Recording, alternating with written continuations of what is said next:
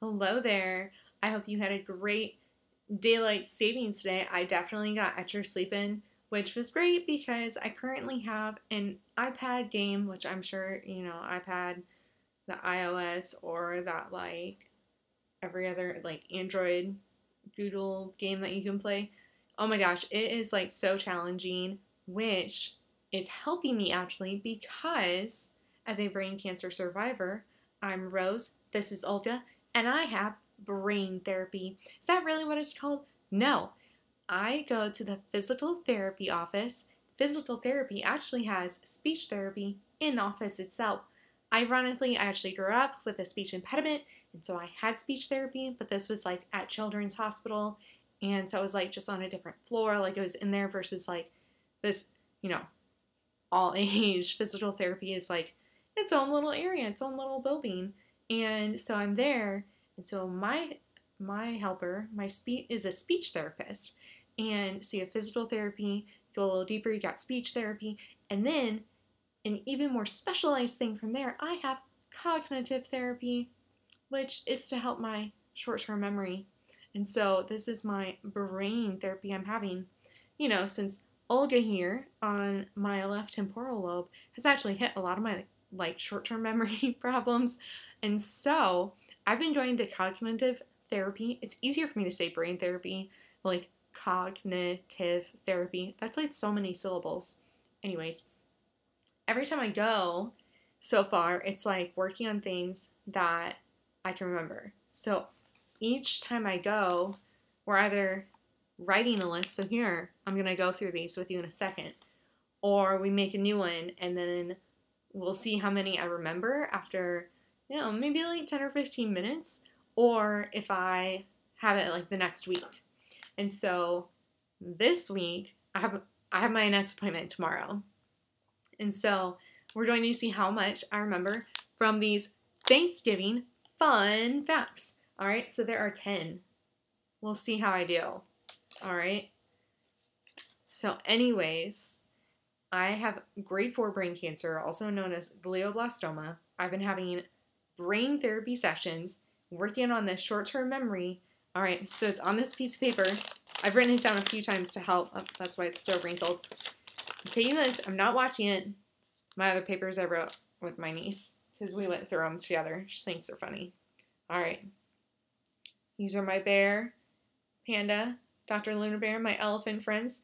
They've got my list. So here we go. 10 fun facts. The first Thanksgiving, which we're doing Thanksgiving facts because it's November, duh, and I've got my Thanksgiving sweatshirt, which I spontaneously made the night before Thanksgiving last year, which happened to be the 400th anniversary since the first Thanksgiving. That's a fun thing. It has funny eyes, but it was a very spontaneous uh, thing to make. So 1621, and now it's, of course, 2022. So this will be the 400th and first Thanksgiving. Kind of crazy. going back, so that's one. Going back to that very first one, the second thing is they didn't have any forks. They had spoons and they had knives, but no forks.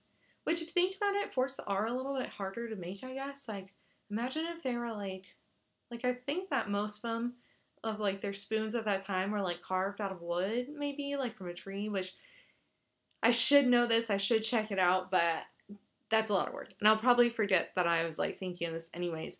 But my brother in law, who happens to be a chef, was like, they probably had sporks because they had a spoon and knives. Why not? That could probably turn into a spork. Why not? So, but what do you use your spoon or knife?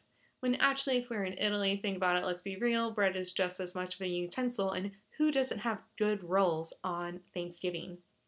Now, Thanksgiving, we all eat turkeys. So we have the first, so the first one, they had spoons and knives, but no forks. The biggest turkey found was 86 pounds. Now, at one point, I was like, is it 84? No, it's 86. And I remember that because the average American eats 16 to 18 pounds of turkey, like their own, like per year. And then I was thinking about it, I was like, someone think I have more than that? Like, I'm a big turkey eater. I like it.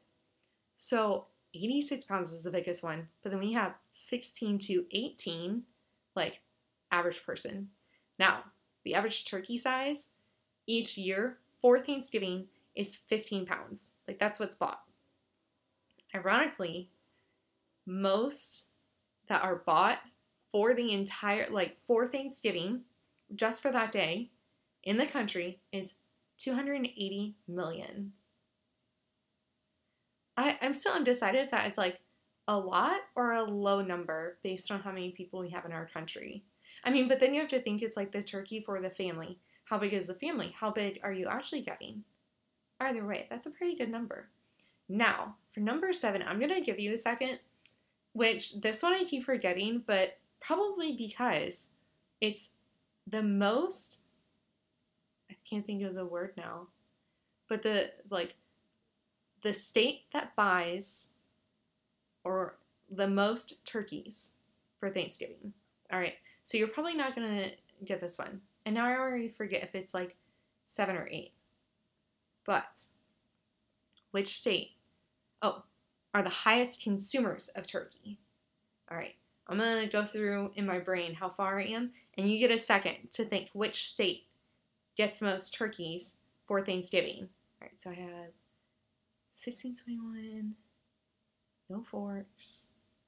86 pounds was the biggest.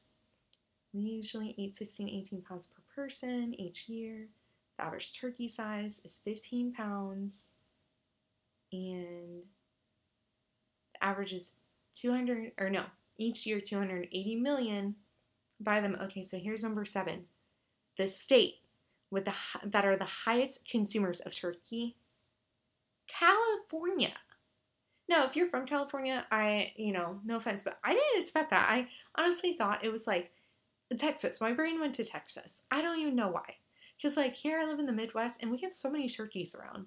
Like, I, can't, I really can't, don't understand how it's California as the, like, high consumers of turkey. But whatever, that's fine. All right, now number eight. Mary had a little lamb, little lamb, little lamb. Mary had a little lamb. His fleece was white as snow. Well, guess what? Sarah Josepha whose last name I don't remember, but she wrote that song and she also convinced Abraham Lincoln to make Thanksgiving a national holiday. Like imagine her turning that song into like a turkey song and being like, you know, you want to make this a holiday because we love to eat our turkey. Now, that's how it became a holiday, but guess what? Ben Franklin wanted to make turkeys our national bird. All right, I made a pretty cool turkey sweatshirt but think about it, like, now I will say, I couldn't think, I couldn't, I know what our national bird is. It's the bald eagle, but when we were first making this list, and I was like trying to think about it, it's like, I know what it looks like. I was like, the, the bird with the white head. It's an eagle, but it has a white head. It took me like, like I said, this is for short term memory improvement. And I couldn't remember it's a bald eagle because it's white feathers that like make it look bald can, can compared to its like brown feathers. You know, crazy thing. But it was Ben Franklin that wanted to make turkeys the national bird instead of the bald eagle. And I'm just gonna put it out there. If a turkey was our national bird, would you still eat it?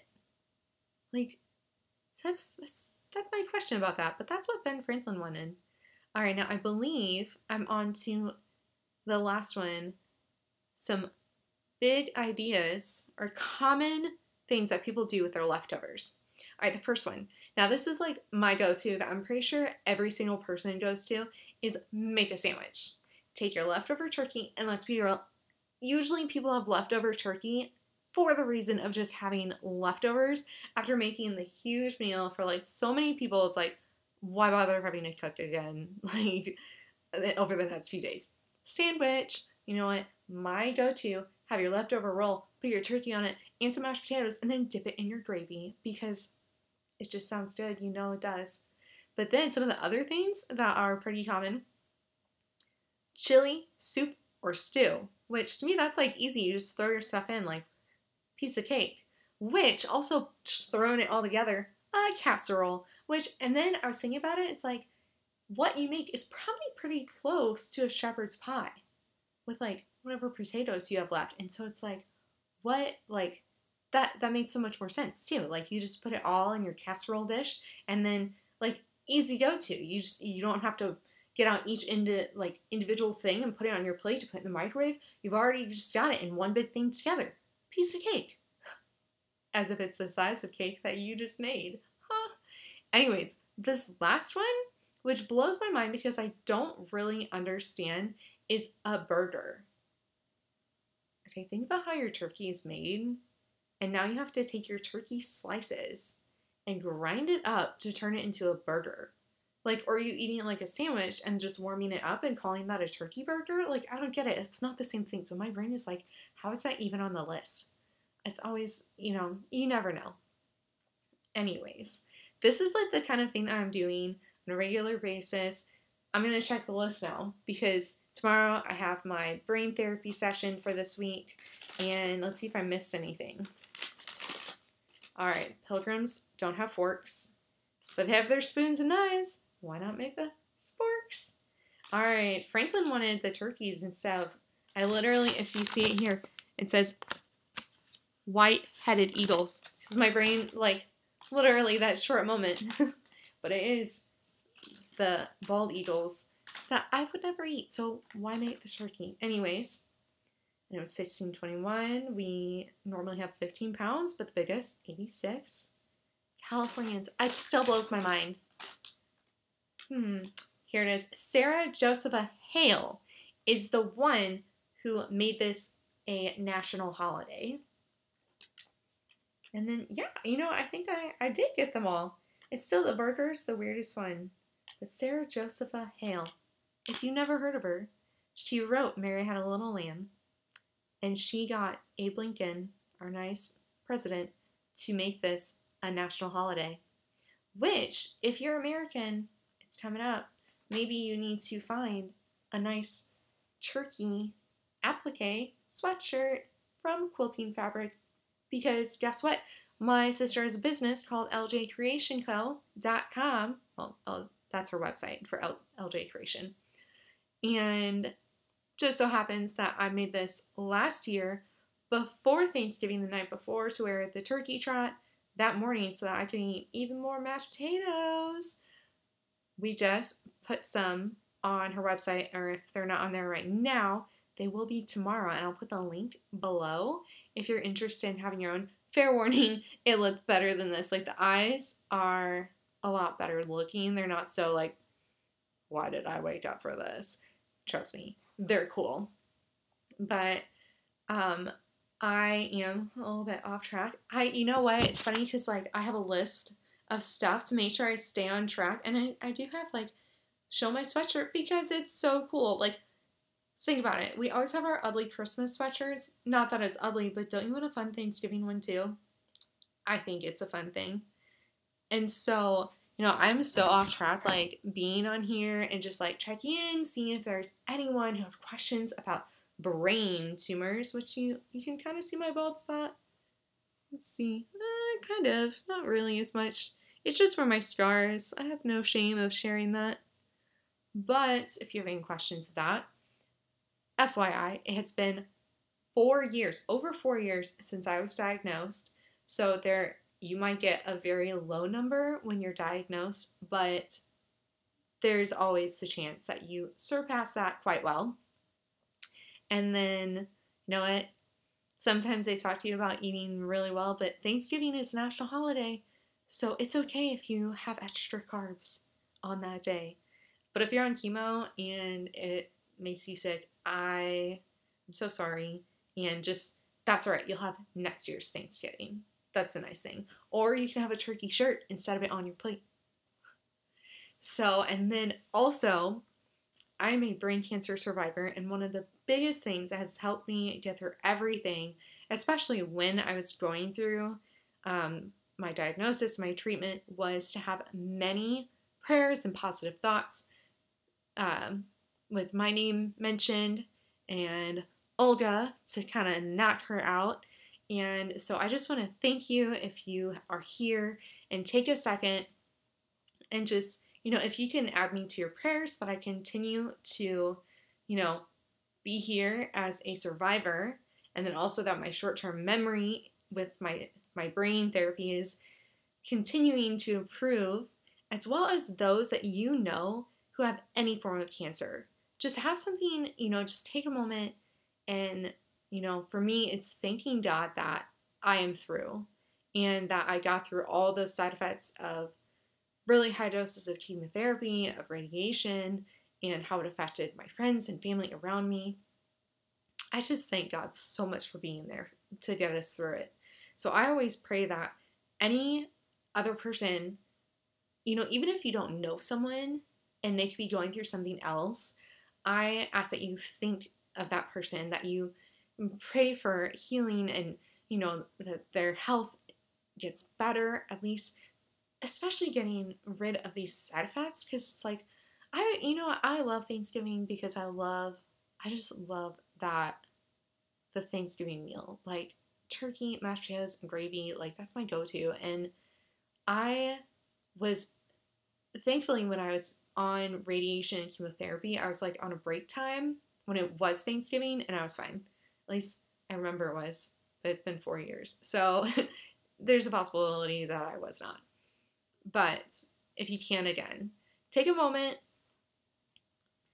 ask for you know, if you don't believe in God, you know, the choice is up to yours. He is my healer. He's my savior because look at this. I was told 12 to 15 months and I've already surpassed four years. So I thank him every single day.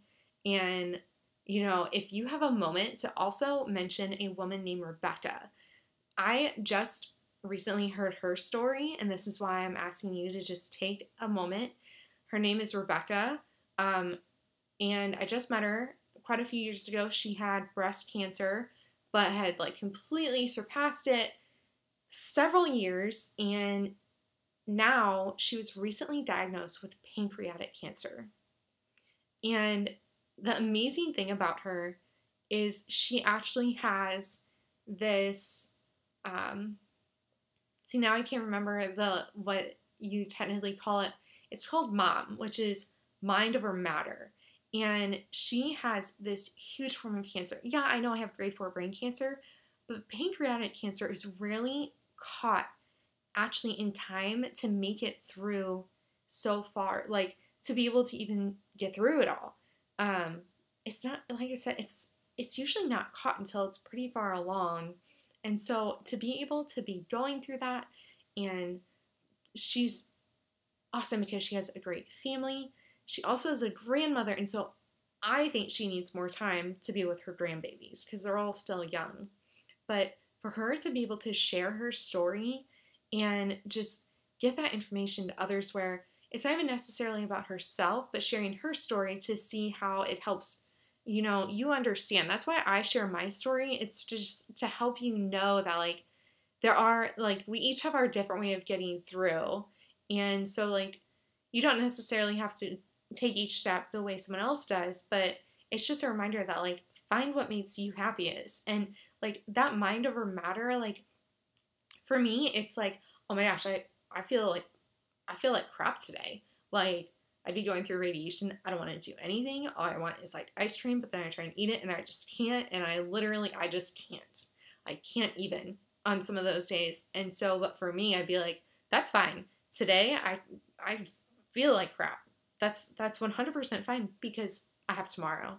And tomorrow is one day closer to getting off of radiation, finishing chemotherapy and being done with this lifestyle.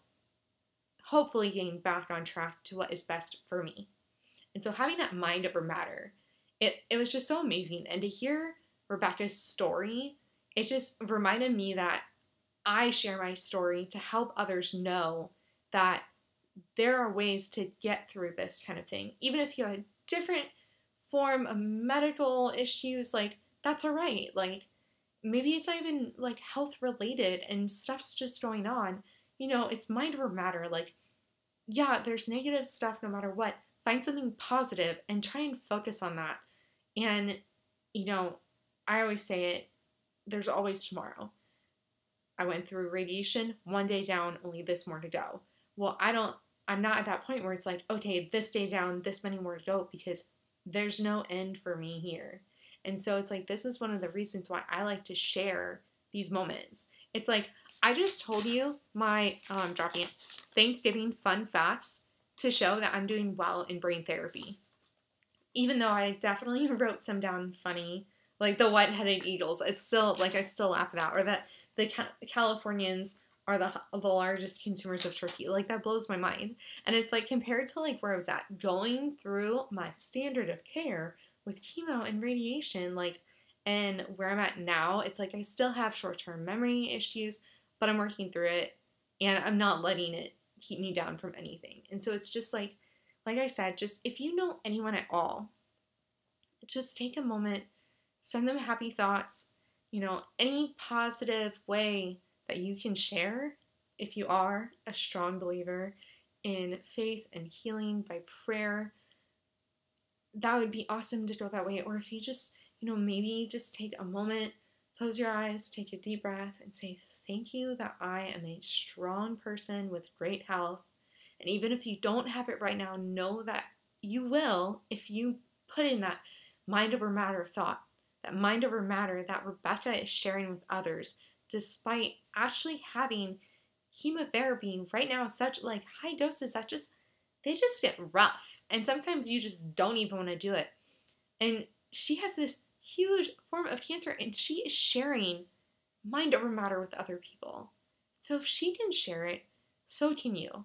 So take a moment, think something positive her way if you can. I'd rather you spend time praying or sending positive thoughts to this woman named Rebecca, who is a breast cancer survivor now fighting through pancreatic cancer, who is so positive to share this with others. Just I thank God so much that she is able to do that through this treatment.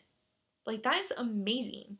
Oh my gosh, plus we have Chadwick, you know, the Black Panther that like went through all of those movies in between his treatments. It's like we have these people who take their moments in these break times to share so much. So just know like you have something to share too. Even if you're really introverted, just remember there's something for you. Just like how Thanksgiving is coming up, and we're going to share some turkey, probably some pumpkin pie. There's always something. And if you're not celebrating Thanksgiving, find something to do with your friends. Maybe have a Friendsgiving. Something where you just take that day and just like you're with people that you love and enjoy, whether they're friends, family, or you're sitting in a hospital getting your your port is just like getting chemotherapy pumped through look at a patient next to you and say, hey, everyone is having a good day, so let's have one too. I know that this has gotten very, very long, and I apologize in advance. I already forget if I said it or not, but me having really long videos and not staying as focused as being regular with these vlogs, I have this new, like, actual blog. My website is Brain Cancer Survivor Rose, and I'm focused on one thing at a time for the most part. And I, so I just started this, and my goal is um, each Monday morning ish to have something new, and it's it's to help me with my my brain, my short term brain thoughts. But every time I have a thought, it is also about staying positive for myself and for others around me. I hope you have a great night. I hope you had a great sleep last night with daylight savings. And even though sunset is earlier. I hope you have a great night tonight too. Okay? My animal friends here say goodnight, and as do I, hope you have a great night. Also, if you watch this, I hope you at least double speeded me before you get like bored and like change channel. Okay, all done. have a great night.